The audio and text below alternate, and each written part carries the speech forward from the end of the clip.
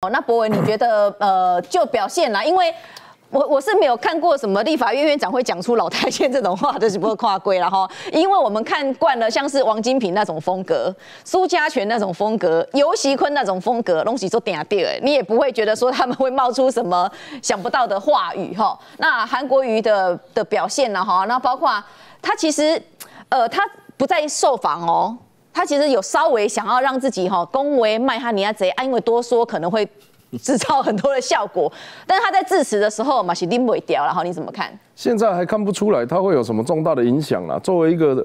这个立法院荣誉顾问，好，我是第十届第一个荣誉顾问。哦，阿芝麻得再去改好。对，我是你有荣誉顾问的经验。我我荣誉顾问，他是最早成为荣誉顾问。对，第十届第一个荣誉顾问。对，好啊，然后第十届没有连任的，刚刚变荣誉顾问。对，所以两年。所以荣誉顾问的意思就是没有来没有继续当立委，没有当过立委就可以当荣誉顾问了。哦，没当的那一天就是。哦啊，作为一个荣誉顾问呢，我在一月三十一号那一天收到一张。尤习坤跟杨宝玉的这个联名的新年贺卡，嗯，想不到隔一天他就没有院长了，他就不是我们的尤院长，很可惜。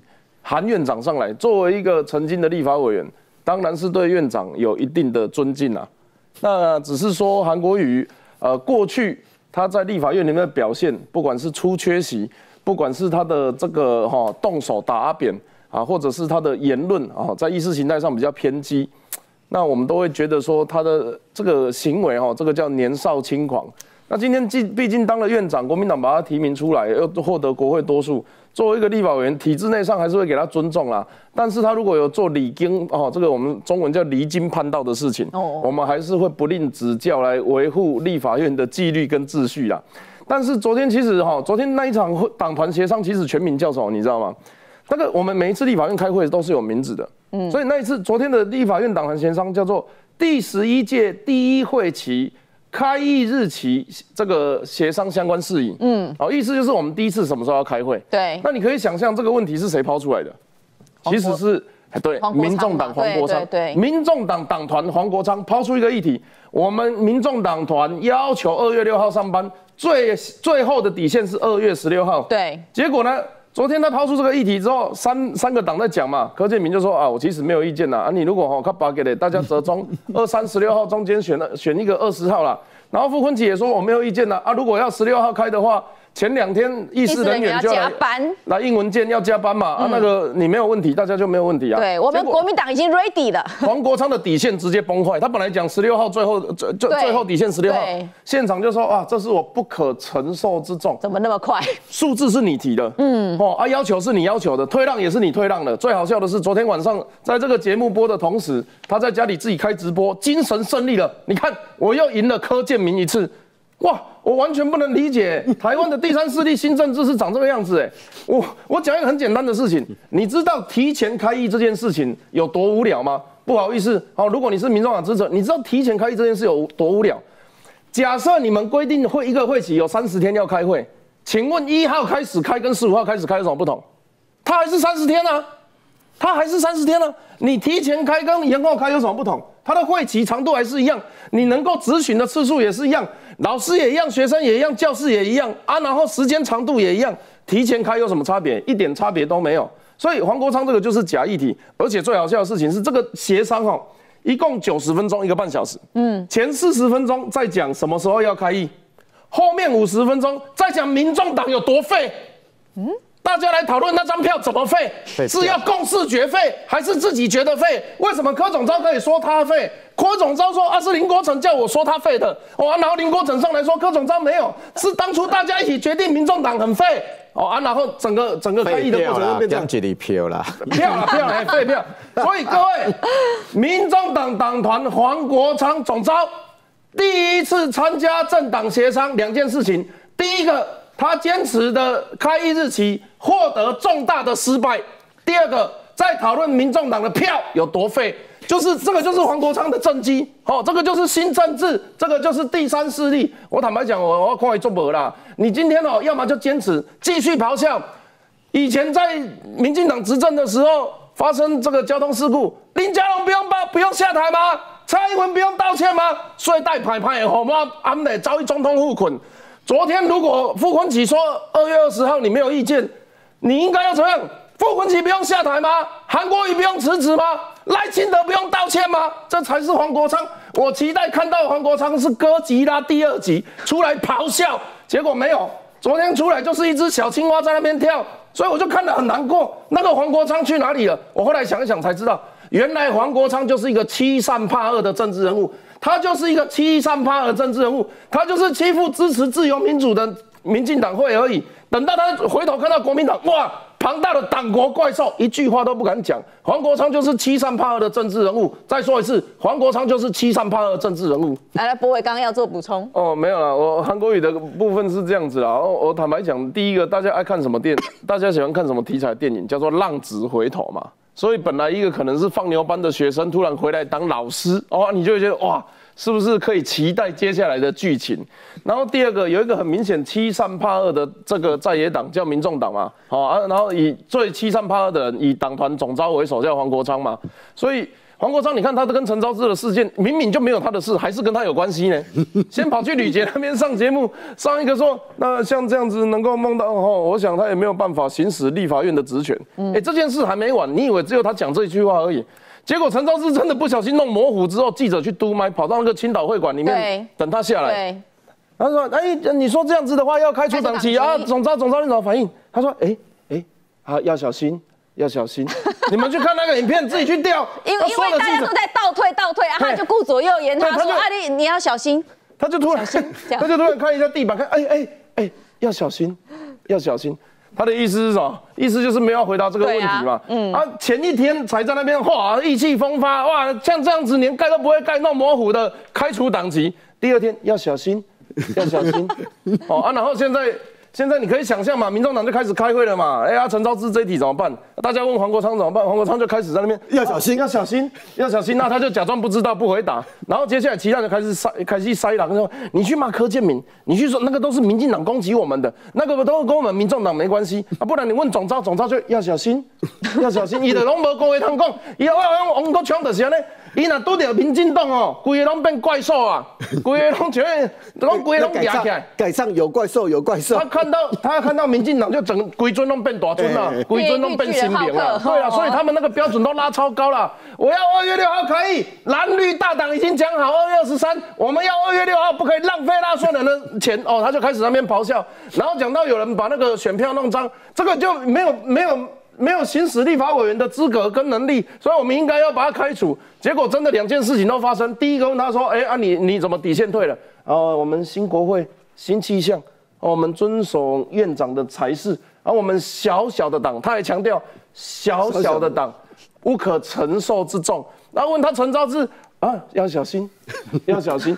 所以有一个有一个咆哮七三八二的在野党，有一个浪子回头的剧情。所以我们突然看到有一个持平而论的韩国语，你回去看那个谁啊，洪孟凯，洪孟凯昨天的发言，他第一句话，院长，我持平来讲，然后讲没两句，我持平的说，又过没多久，持平。什么时候变你洪孟凯在持平了？就是因为你旁边还有一个比国民党更可怕的那个在野党，叫做民众党嘛，所以韩国语现在看起来当然就是四平八稳，没什么，因为。真正会对撞的是白的，一天到晚会找绿的吵架。嗯，然后 你可以想象，韩国瑜真的，韩国瑜也不用担心什么上厕所喝酒醉的问题，韩国瑜要最担心的是无聊，没他的事了，没他的事了嘛。下面都在吵架，你只能拿个锤子那边主持公道，也开心刚刚无聊嘛。所以就无聊。综合以上几点。我们再观察了，真的坦白讲，他坐在那个位置上哦，只要他是为立法院服务、为人民服务，那我们基本上没什么好嘴的，因为他是立法院长，本来就大家要尊重。但是如果他把这个位置拿来为国民党服务、为个人政治目的服务、意识形态服务，那我们自然会跳出来指责他。来，博伟，好，欢迎收看治国专家陈博伟。哈，陈博伟专治两个国，一个叫黄国昌，一个叫韩国瑜。今天讲这件事情，我们要从蓝白的角度来切。国民党今天提出来这一些国会改革的诉求，然后最后写一个不知道为什么恢复特征组，你们知道为什么要分开写吗？他们前面那一句就是跟柯文哲签的那四点声明，他是不是有提什么要人事权 要干嘛的？这边先抄一点，然后呢，剩下的部分是抄什么？跟黄国昌那个时候党团总召、正副院长的同意案有没有？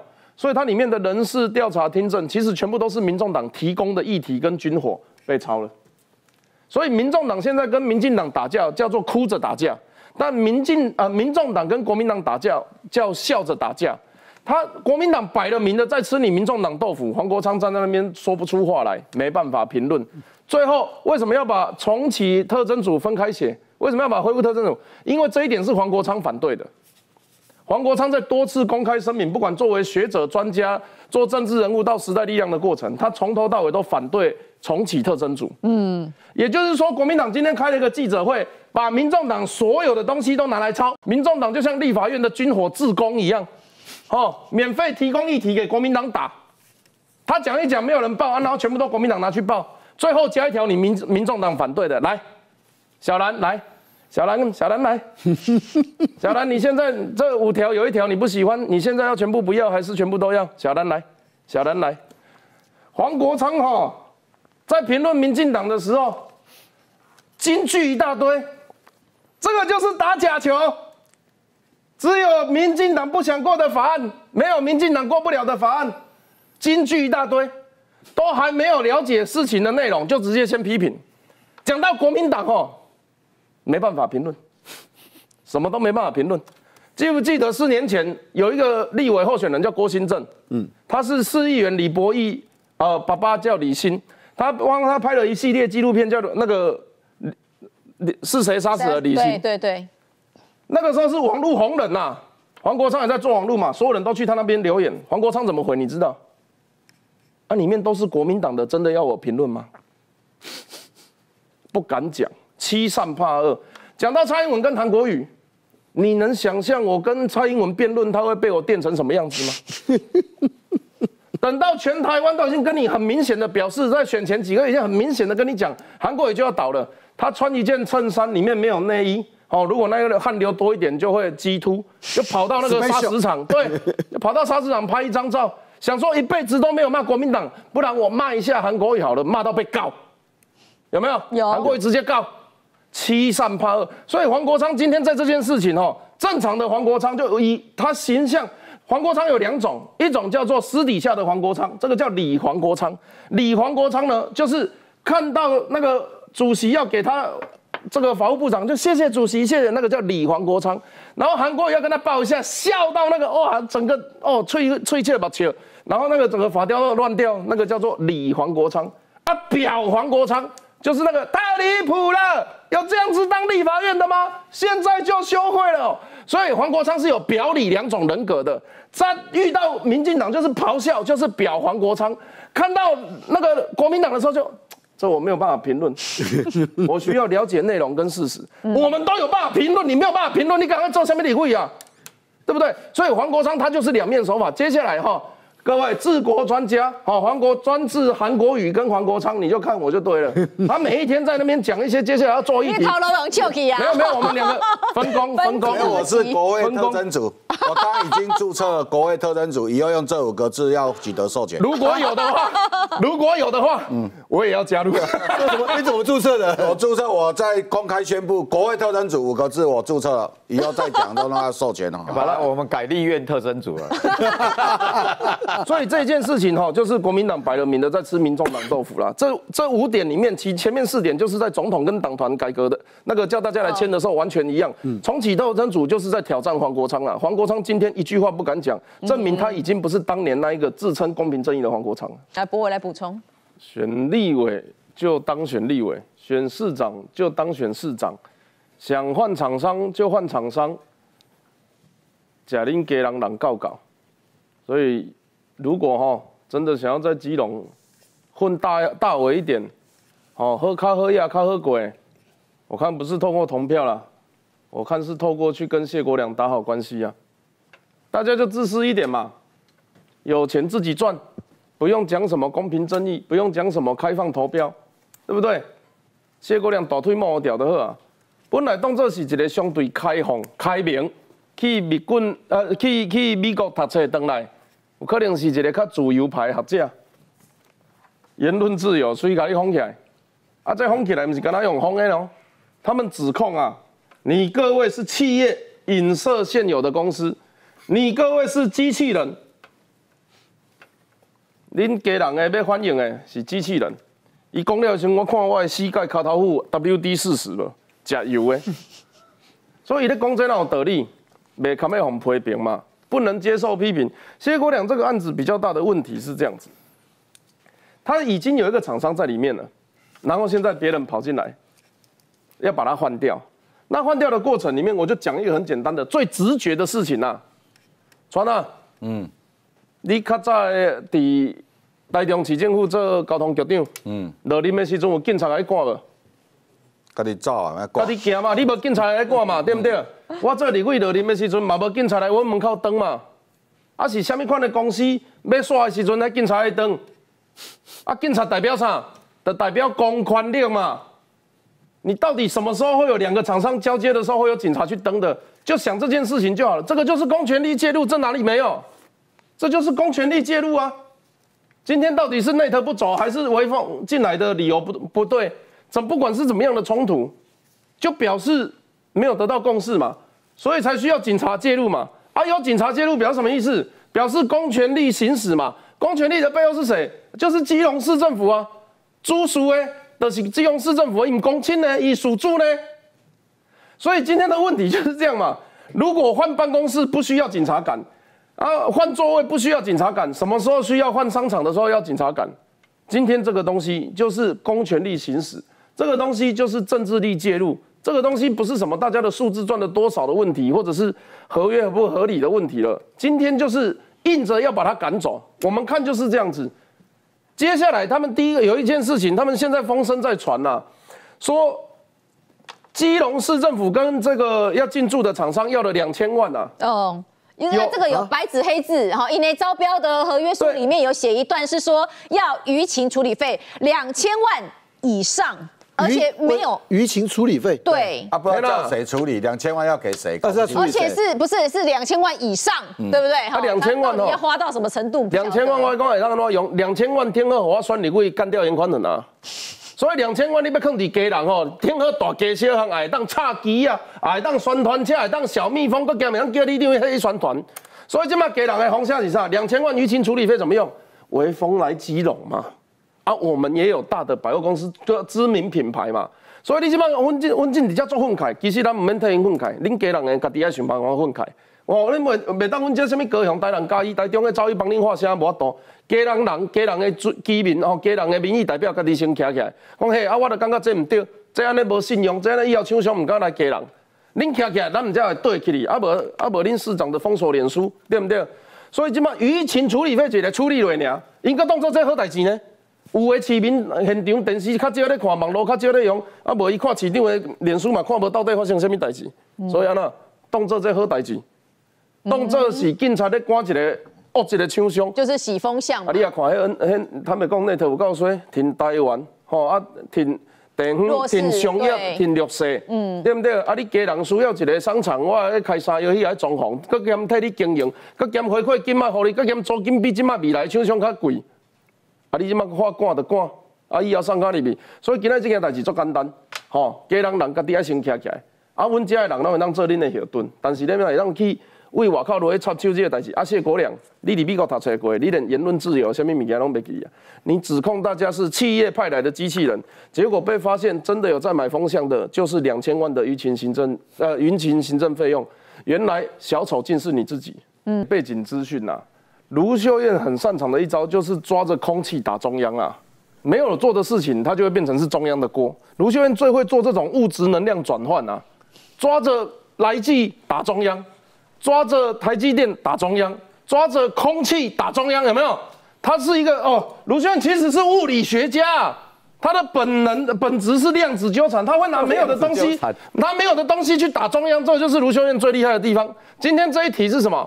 有一只猪的梅花部分，它被验出了台湾不存在的毒品啊，这个瘦肉精。然后呢，那个东西贵到一公斤要几万呃几亿呀。五点四亿，五点四亿，一公斤五点四亿啊！你讲这才能起低，猪的海洛因啊？没有没有，海洛因一公斤七百万而已。啊，今嘛好，今嘛有一家第一有一个保卫险呢。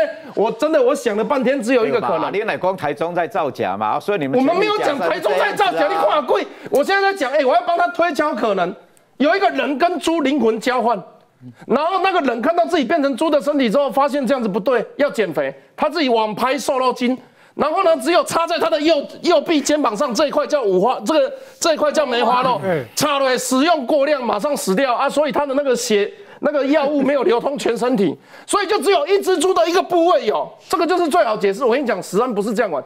今天今天曾执长卫生局长发现这个事情的时候，他下面的那个公务员通报，局长打电话给中央说：“哎、我发现那个台湾没有的东西，现在怎么办？”